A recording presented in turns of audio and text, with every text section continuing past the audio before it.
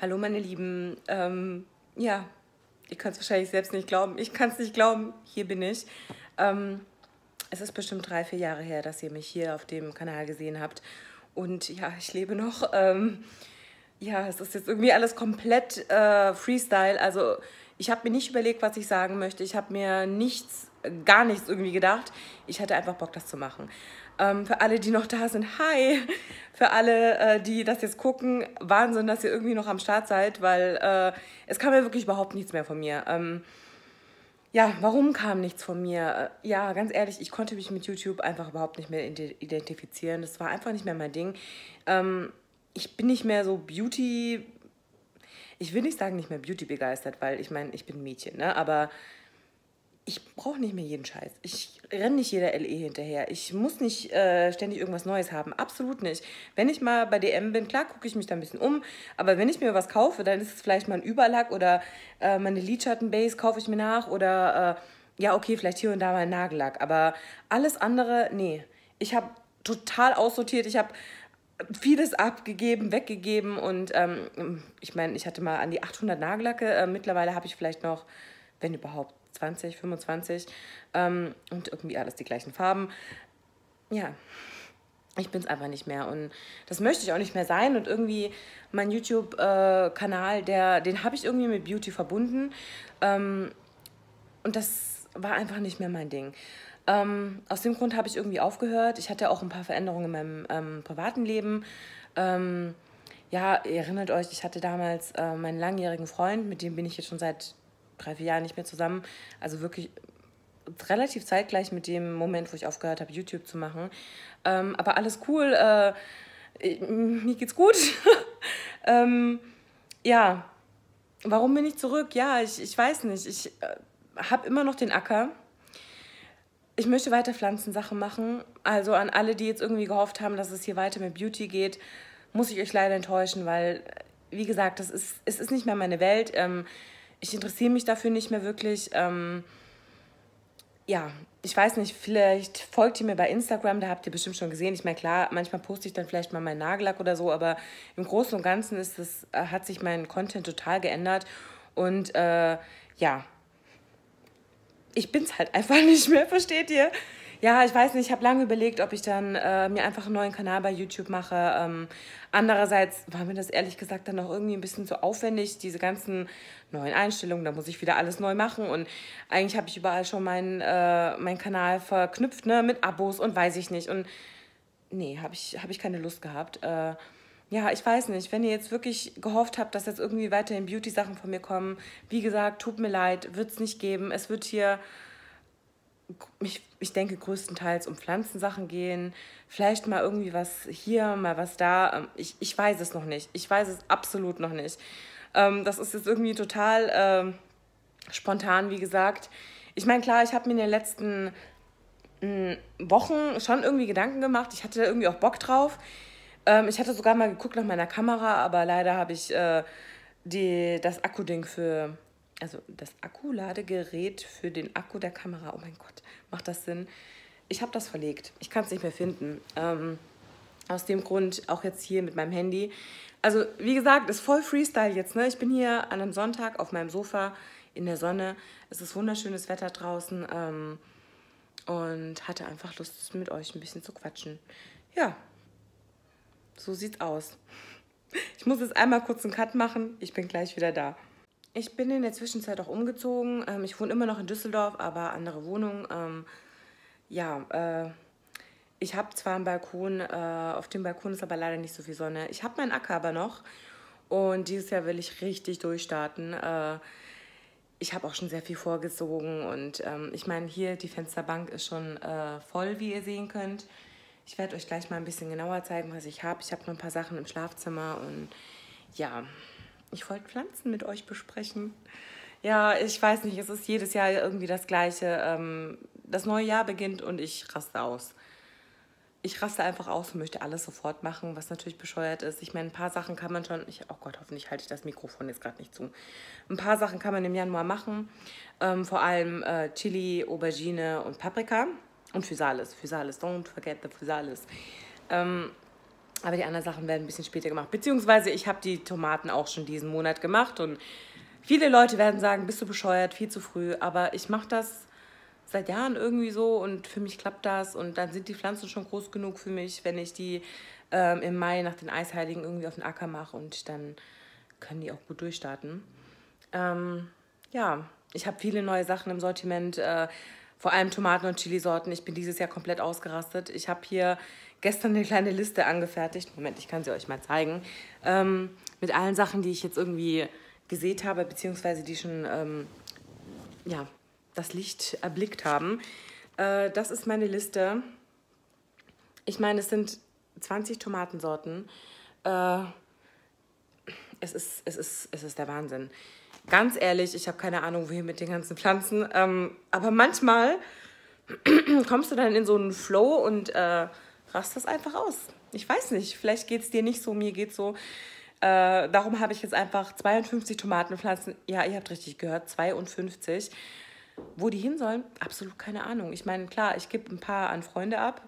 Ein paar, ja, ich weiß nicht. Ich sehe, wie viel möchtest du haben? Ich wahrscheinlich nicht mal ansatzweise so viel, wie ich abgeben muss. Ich habe überlegt, den Rest irgendwie äh, einfach auf dem Acker ähm, an den Wasserwagen zu stellen und äh, so, so äh, wie sagt man, für die anderen Leute, die eben dahin zu stellen. Und mit den Chilis, ja, ich weiß nicht, es sind auch sehr viele, aber vielleicht kriegt die sogar unter.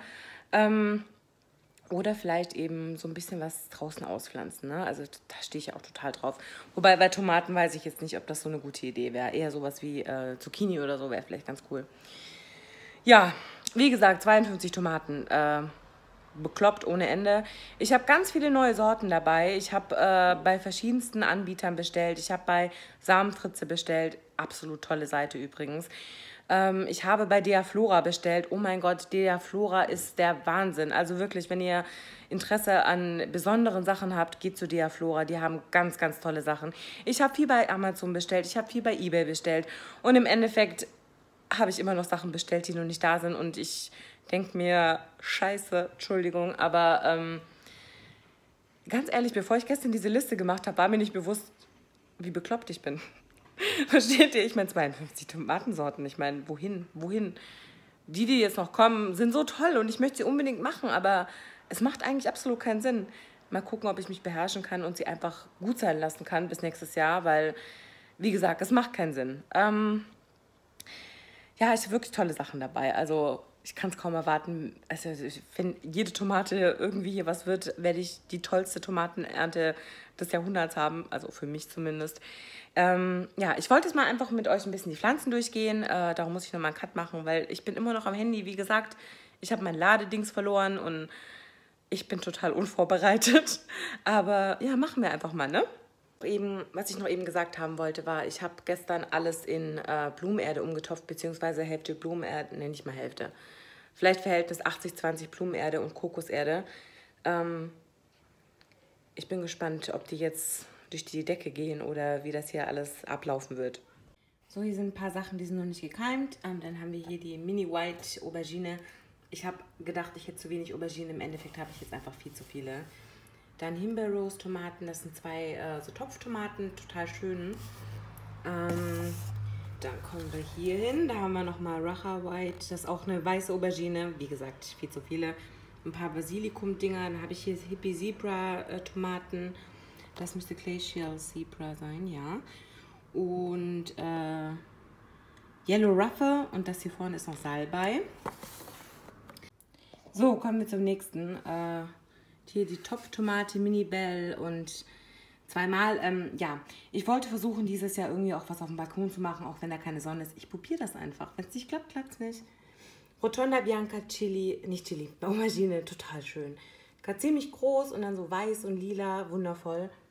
Raw Wit, das ist äh, auch bekannt als Bird's Eye Chili, Thai Chili. Ähm, ja, da habe ich das Saatgut selbst gesammelt ähm, aus, aus dem Supermarkt. Da gibt es manchmal bei Rewe so ein äh, Set mit Habanero und der und Jalapeno. Jalapeno habe ich hier noch. Bishop's Crown, die sieht ganz, ganz komisch aus. Weiß ich nicht, ob das was wird. Scotch Bonnet, meine absolute Lieblingschili. Ähm, Mystery, da habe ich auch mal Samen aus dem Supermarkt gehabt. Keine Ahnung, was es wird. Äh, wahrscheinlich eine Paprika und nochmal eine Aubergine. Hier geht es weiter mit äh, verschiedenen Tomaten, Reisetomate, Dark Galaxy. Dann habe ich hier ein paar Auberginen, da steht Mix. Das war einfach so ein gemischtes Samenpäckchen von Manufaktum. Eine Fairy Tale, leider finde ich nirgends mehr Samen dazu. Wenn jemand eine Idee hat, bitte gebt mir Input, weil da, wo ich sie bestellt habe, bei Jungle Seed in ähm, England, da gibt es die leider nicht mehr. Cherry Bomb, jedes Jahr im Programm, weil toll. Dann meine Mini Physalis. Pretty in Purple nochmal, Rotonda Bianca nochmal. Dann geht es hier weiter. Mystery, eine Chili Mystery, weil mir einmal äh, ein so ein Teil mit Samen runtergefallen ist und ich dann nicht mehr wusste, was was ist. Nochmal eine Cherry Bomb, noch eine Physalis, Scotch Bonnet, Bishop's Crown, New Max Color, Pretty in Purple. Dann hier noch ein paar Rawbit und Jalapenos von denen, wie ich selbst gesammelt habe. Nochmal eine Mystery, eine Honigtomate habe ich hier. Slatava-Tomate, mehr Scotch Bonnet, eine Lemon Drop. Dann habe ich hier noch mehr Honigtomaten. Habanero Orange, zwei Stück. Dann bei Paprika habe ich Sweet Chocolate und äh, irgendwo noch eine Liebesapfel, aber die muss wahrscheinlich drüben sein, irgendwie im äh, anderen Zimmer. Dann habe ich hier Kaffee und ähm, Baumwolle ausgesät. Die Baumwolle kommt, der Kaffee noch nicht. Und dann, ach, die Kameraführung. Habt ihr es vermisst? Hier äh, habe ich Mohn. Ja, werden wir mal gucken, weil eigentlich soll der ja ganz blöd zum Umtopfen sein, ne? aber ich probiere es einfach mal. Ja, wie ihr seht, da war davor was anderes drin. So, das war Nummer eins. Wir gehen jetzt in mein Schlafzimmer, weil da habe ich äh, den Rest der, ähm, der Sorten. Ach nee, ich habe hier noch was zu zeigen. Äh, einmal in meiner Küche. Ah, ja, ich habe hier ein paar Bohnen. Ihr werdet euch jetzt wahrscheinlich darüber wundern, aber äh, es sind Bohnen, ähm, wo ich nicht weiß, ob Stangenbohnen oder Buschbohnen sind. Darum, wir warten es einfach mal ab. Das ist ein kleiner Test einfach nur, damit ich dann im Sommer weiß, äh, worauf ich mich einstellen muss. So, wir sind im Schlafzimmer. Weiter geht's. Hier nochmal eine Paprika, Terence Tender, eine Micro-Tom. Das sind halt diese Mini-Tomaten. Äh, ja, hatte ich einfach Bock drauf. Smara äh, Purple Smaragd. Eine nochmal eine weiße Aubergine. Wie gesagt, ich habe viel zu viele. Ampeltomate Mini Gold. Hier nochmal, nochmal eine weiße Chili. Nicht Chili, Aubergine. Warum bringe ich die durcheinander? Dann die hier äh, sind beides Multiflora-Tomaten. Einmal Ildi und einmal Rose Quartz. Ildi ist gelb, Rose Quartz wird so pink, rot. Auf die bin ich auf jeden Fall total gespannt. Noch mehr Tomaten. Ananas-Tomate, nochmal Rose Quartz, Kleeblatt von Togo, äh, Orange Russian Heart, Striped äh, Cavern. Das sind nochmal die gleichen, nochmal eine Reisetomate. Und dann Okra. Ja, meine Lieben, ich versuche dieses Jahr mal was Neues und zwar Okra. Das hier ist die Sorte ähm, äh, Clemson Spineless. Die habe ich vorgekeimt in einem Zewa. Und als dann äh, die Würzelchen kamen, habe ich die äh, hier reingepackt. Ja, das ist die Sorte. Und dann gehen wir mal darüber. Das ist meine zweite Sorte und das ist die ähm, Red Burgundy. Das ist eben eine rote Sorte Okra. Und die sieht so aus. Man sieht da auch schon den Unterschied, ne? Wenn ich die jetzt mal nebeneinander halt. Da ist schon das Rot ein bisschen zu erkennen. Also die Pflanzen sind wunder wunderschön. Und dann habe ich hier noch ein paar Sachen. Am Ende, Gott, ganz vorsichtig umdrehen. Hillbilly-Tomate, Venusbrüstchen, dann zwei Blockpaprika in Gelb, eine Pink Toulon, Aubergine, Fuzzy Wuzzy. Was bist du? Auch eine Fuzzy Wuzzy. Eine Liebesapfel, äh, Paprika, zwei Bratpaprika und nochmal eine Pink Toulon. Ja, wir haben es geschafft. Unfassbar. Ja, meine Lieben, und dann sind wir auch durch mit meinen Pflanzen. Ähm, ja, ich halte euch auf dem Laufenden. Ich hoffe, ihr bleibt bei mir. Verlasst mich nicht. Nein, ist okay. Ich meine, wenn, wenn ihr da kein Interesse dran habt, ich kann das absolut verstehen. Es gibt manche Sachen, da habe ich auch kein Interesse dran. Und auch bei Instagram allein, ne? wenn dann nur noch Sachen von einer Sache gepostet werden, an der ich kein Interesse habe, dann, Entschuldigung, muss ich dir leider entfolgen. Ja, ich weiß nicht. Äh, ich habe ja zwei verschiedene Instagram-Profile. Einmal mein äh, ganz normales Anna Simona-Profil äh, und dann Balkonien Ackerliebe. Äh, und da poste ich meine Pflanzensachen. Ich habe was vergessen. Hier oben habe ich nämlich noch was. Äh, da. Da könnt ihr sehen, zwei, äh, zweimal Borratsch und eine kleine äh, Bohne. Ja. Ähm, okay, soweit, so gut. Schön, dass ihr äh, euch das angeschaut habt und ich hoffe, wir sehen uns bald wieder. Tschüss.